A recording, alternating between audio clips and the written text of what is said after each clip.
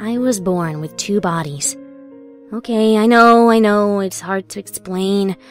No one believes me, and I've never heard of this happening to anyone else, but. Well, there it is. Maybe you'll just brush me off too and ask if I should be getting my head checked. But at the very least, my hope is that you'll hear this and that someone out there will be able to help me. Two bodies means two families, two homes, two lives. In both of these, I am 16 years old. In one of these lives, my name is Andrea. I have a mother, father, and a younger sister. I have curly black hair and large green eyes. we have a dog named Skip. In my other life, I am Millie. I am short with a blonde pixie cut. I live with just my mom in a little townhouse in the suburbs. Both of these lives are mine, and I am both of these people. You must be wondering, how can somebody sustain two bodies? Can someone be in two places at once? You see, that's the problem. In both of these lives, I have a serious condition, and nobody knows why but me. They caught it when I was a young child. At seemingly random times, I would become completely catatonic. Someone would call my name, and I wouldn't respond. I wouldn't blink, I wouldn't move. Sometimes it was even hard to tell if I was breathing or not. It was traumatic for all four of my parents. Andrea's parents rushed her to the hospital, screaming and crying. They ran every test they could afford, although they don't have much money even now. The doctors came back with nothing. The condition didn't appear harmful, they said, but it should be monitored. Millie's mother was a little calmer about the situation. After all, she didn't get to be the CEO of a major company by being overly emotional. She brought her, me, to a specialist and a private family doctor. She ran more tests, spent more money, demanded more answers, but her doctor arrived at the same result. So why does it happen? I have the answer that none of the doctors have. The thing is, the thing is, I can't be in two places at once. At any time, I can be either Millie or Andrea, but not both. When I become Andrea, Millie will go catatonic. When I switch over to Millie, Andrea becomes a barely living doll. It was hard to deal with when I was a child, that's for certain. I love both of my families, so how could I choose which one to stay with? Sure, I considered switching over to one body forever, but I couldn't bear the thought of losing a family, no matter which one it was. So eventually, I reached a compromise. I'd spend a month with one family, then a month with the other. Sometimes I'd make the switch weekly, even daily if the mood suited me. It was the only way that I could keep them both. Sure, this method had its drawbacks. For example, I can't ever get my license. And Millie's mom puts me on new meds every once in a while to try to solve the problem. She won't stop no matter how much I beg. My parents on both ends find it strange that I never have a problem keeping up with school, despite the long absences that I'm prone to.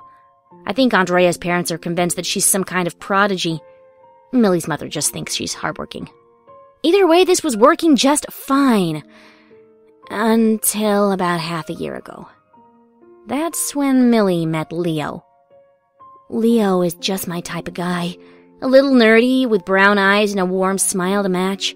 He's tall and a little lanky, but his arms fit perfectly around my petite frame. He's smart and knows his way around all my favorite fandoms. I know it might sound immature, but I felt really, really, truly, deeply in love with him in just a few short months. So my plans changed. I felt bad about it, but it had to be done. I left Andrea's family for longer than usual. It was difficult to do, and I knew I'd miss my little sister, but Leo made me so happy, and I couldn't bear to be away from him for so long. I stayed as Millie for six months. In that time, life seemed truly perfect. In fact, it felt as though things improved by the day. I had never gone so long without going catatonic, so my mother was, of course, pleased. Stress melted away from my life. Leo and I grew even closer until we began concocting secret plans of marriage. My life felt stable, happy. I even considered letting go of Andrea completely. It was hard saying goodbye to that family, sure, but the further away from them I got, the easier it became. In the end, it would probably be better for them too. Maybe, just maybe, I could finally make the choice. But after those six months, I changed my mind. I'd been homesick for a few days. It wasn't anything too serious. I was mostly tired with a slight cough and an intermittent fever. My mom thought I'd been overworking myself and wouldn't let me out of bed. As I bled away my time reading and watching TV, a feeling of unease and dreadful guilt began to creep into my heart. I couldn't stop thinking of Andrea and my other family. I knew how much they must miss me, how hard they must be trying to wake me up. I sighed and decided to switch back.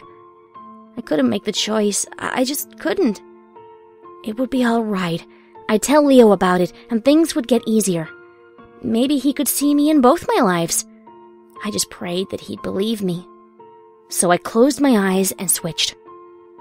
But when I opened them, I was still Millie. It was strange not being able to switch. I tried and tried and tried again, but no luck. I was trapped. It was as though I had to flex a muscle to switch over, but the muscle had already withered away.